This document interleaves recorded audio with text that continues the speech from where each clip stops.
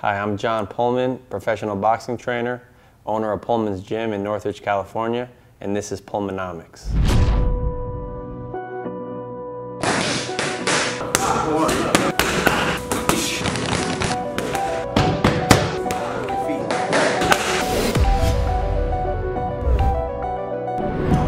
One of the greatest college football coaches of all time, Paul Bear Bryant, has one of my favorite quotes. He says, Offense sells tickets, but defense wins championships. Makes perfect sense. My other good friend Billy Briscoe, who's an excellent boxing trainer and a boxing encyclopedia from Philadelphia, he said that quote to me one time and he said, And John, that includes boxing. You go in there, you enhance your defense, you walk him down. I said, it makes all the sense in the world. You know, at the highest level, everybody can throw punches hard and fast and, and, and look really good and hurt you and all that.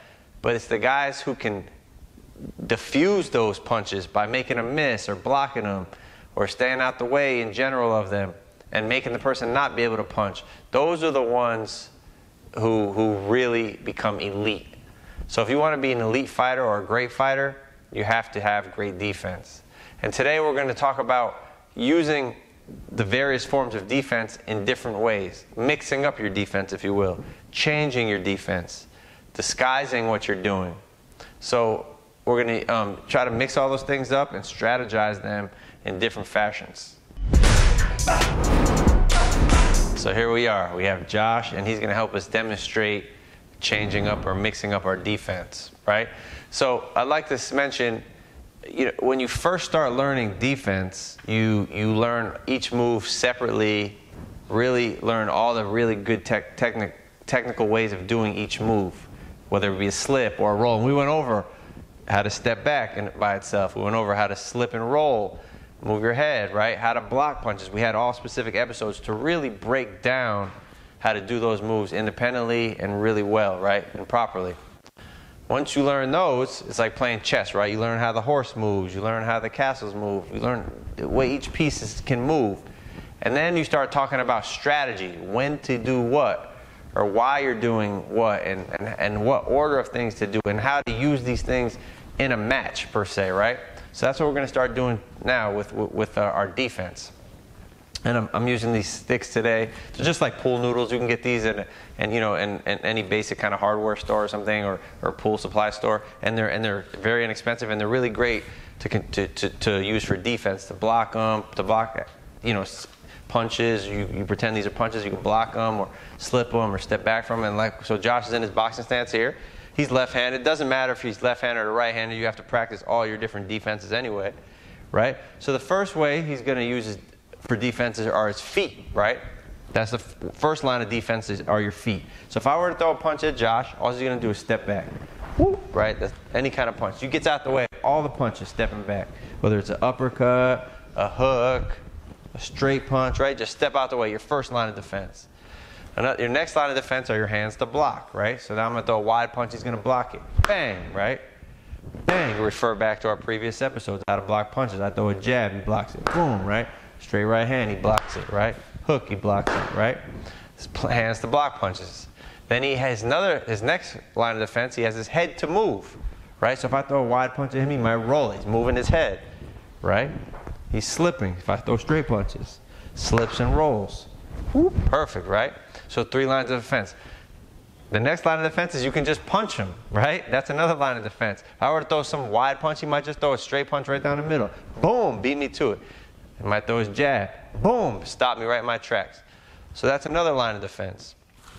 Now, what we'll do is we're going to use all those different kinds of lines of defense in different type of orders, in different order, so you kind of confuse the person. So they're not really sure what way you're going to um, defend yourself, so then they're unsure when to punch or what punch to throw, even, right? I'll give you an example. Josh in a good boxing stance. Right back up a little, Josh. A little more. So he's going to slide to me. Back up a little more, it's okay. He's going to slide to me, right? And before he gets to me, I, when I think he's coming, I'm going to go throw a punch, and he's just going to step out of the way, right? He's going to slide to me, and then he steps out of the way. So he uses his feet. So now I'm thinking, oh, okay, this guy's moving his feet really good, right? So I might need to step in more with my punch. So here, so this time he's going to change it up. Instead of stepping back, he's going to stand his ground and block. So he slides to me. and he's gonna block, right? He changed his defense, right? So now I'm thinking, oh, this guy's gonna stay there for me, so I don't need to step in. So then he might step back again. He slides to me.